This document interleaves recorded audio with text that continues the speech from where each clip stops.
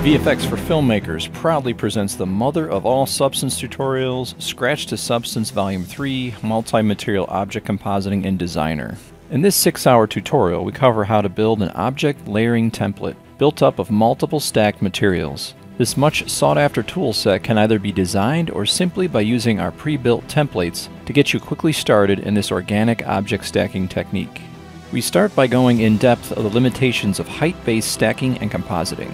Many advanced designer techniques are also demonstrated to get us warmed up to the process. As a sort of training wheels lesson, we go through and create a simple object stacking graph network, slowly but surely ramping up to the more complicated network for our final dystopic landscape. Finally, we export our goods into Marmoset Toolbag and give a full overview of the lighting, rendering, and export to Marmoset Viewer inside of ArtStation. VFXforFilmmakers.com, the next evolutionary step for storytellers.